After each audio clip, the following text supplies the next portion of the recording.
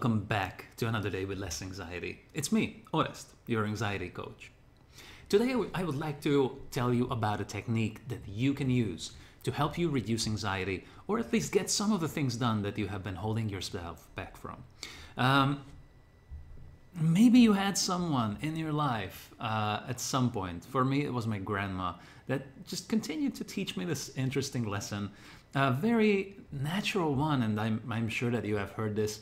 Uh, eat your dessert after you ate your vegetables. Uh, and of course, in this symbolic representation, the vegetables are going to be, of course, this doesn't apply to people who just love them or have learned to enjoy them. In this metaphorical case, it is about the things that you don't particularly enjoy. And of course, I heard this. Uh, I heard this saying when I was little, and I didn't yet particularly enjoy my vegetables. But in this situation, what it's trying to tell you is that you want to make sure that you do the things first that you don't particularly enjoy. Why? Because those are usually the things, if they are present in your life, those are usually the things that are important for some reason. In this case, in the case of food, those, and of course, this is not nutritional advice. Uh, you eat whatever is appropriate for you or whatever is recommended to you by uh, your professionals.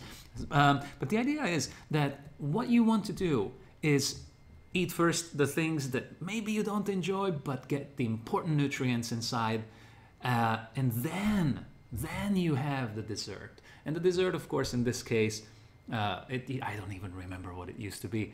Uh, some jams or some amazing, uh, amazing pastries that my grandma would prepare, and those were those were really delicious. I love them, but most of the time they were much more.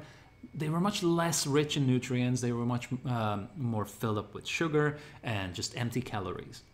So what you do want, first of all, you don't prepare too much of those things. You don't just fill up on only those, uh, only the sweets.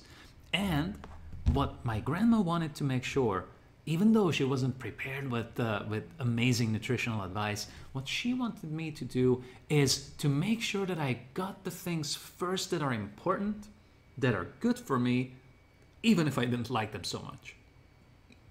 And then I could add the pleasurable things, the things that only add the little bit of pleasure, not value, nothing additional, nothing long lasting, just some nice thing that I got the, at the end that I could enjoy. And of course, we needed those as well. I'm not saying that you should never have dessert. So, in this case, how does this relate to, for example, anxiety, things that stop you, in particular about procrastination?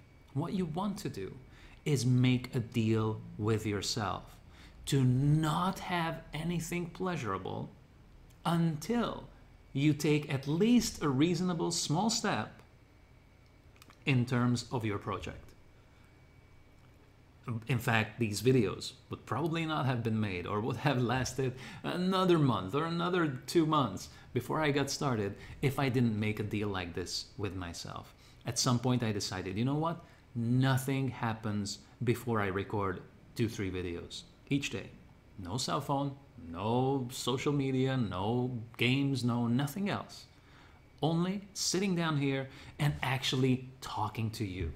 This is the deal that I made with myself. Otherwise, you, I would just end up doing something that distracts me, then another thing, then uh, I'll, I'll, get this started just as soon as I finish this one video, or I get started after I play a quick game of this and that, and then those really easily chain up and just end up, you end up doing way too many of those. So make sure that you make a right deal for yourself. Don't, make sure that it doesn't feel like you're you are uh, really, I don't know, smothering yourself or just not allowing you to have any fun. That's not the idea. Make sure that what you, you're, what you're planning to do is actually doable, you can achieve it, and you know when you have achieved it. Make sure it's not fixing your life in one day before you have any fun. That's not going to work. And then it's very likely that you end up breaking the entire deal and not getting anything done.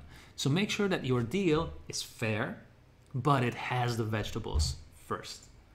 And I really hope that this is going to be another step that gets you closer to just a little bit less anxiety today. And if videos like this are useful, for you or you think it's can, it can be useful for others, make sure that you click the like button so YouTube shares it with other people. If you want to share it with someone in particular, there is a button for that. If you'd like to leave a comment, if you if you have something nice to say, please do so. And to make sure that you don't miss tomorrow's video, subscribe. I'd love to see you tomorrow as well. And of course, because you made it all the way to the end, make sure that you do a little bit of this. Tell yourself, I'm doing good. And you are doing good. I love to see you. Keep coming back here.